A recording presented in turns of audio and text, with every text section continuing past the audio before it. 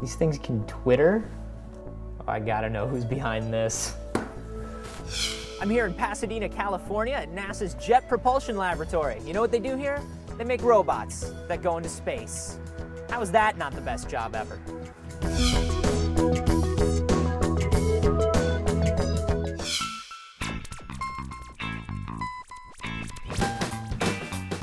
I'm here at the JPL with Dr. Tara Estlin. Why don't you tell us uh, who you are and a little bit about what you do?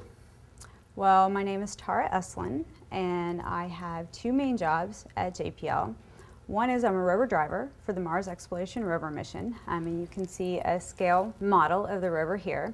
And so I'm one of the people that's responsible for telling the rover where to drive and also how to use its arm, which has a series of instruments on it that it'll place against different rocks. When, when I hear Mars rover driver, I'm picturing you with like a big joystick and like... a lot of people picture it that way.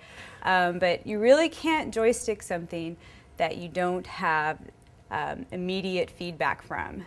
Um, so instead what we do is we plan out a full day of activities for the rover and then when we get the results of that back, uh, usually later that night or maybe the next day, then we go through the whole cycle again. I read a lot of things about the mission on the internet. I did hear there was a Sasquatch. I do remember that there was a particular rock that we found that looked an awful lot like a Sasquatch and so that got a lot of good publicity. As far as water, we definitely have found signs or evidence of past water and another craft, Phoenix, which was a lander at one of the poles, um, did find water there. How powerful is the rover in comparison to like my laptop or my Xbox as far as like processing power? It's probably like 20, 30 years um, before that. And a lot of this is because the processor and the hardware has to go up in an environment where there's a lot of radiation and it needs to be radiation proof and that's particularly difficult for computer processors. Um, and also missions have to have their hardware frozen and ready to go years before we actually fly the mission.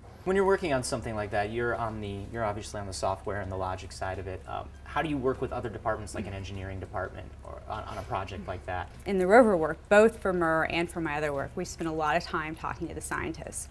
Um, the majority of missions that JPL does are all driven by science goals. What can we learn about Mars? You know, has life existed there before? So it's very important to involve those people in your work. How do you get into working at NASA? It just sounds so like it's up here, you know what I mean? Well, I mean, I think people come through in various ways. Probably one of the best ways is to go to a school that has a space program. Take classes in aerospace engineering and other things that would be helpful um, for a career in space and can easily get internships at different NASA sites like JPL. So that would probably be the most direct route. So last question, um, can I make it pop a wheelie? we, we can pop wheelies, actually, can I pop and a we wheelie? have. That's where I'm coming from.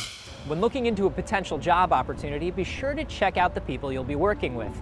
You know, one of Tara's favorite things about her job is the team of scientists she gets to work with day in and day out. Colleagues can quickly become mentors and really help to shape your career.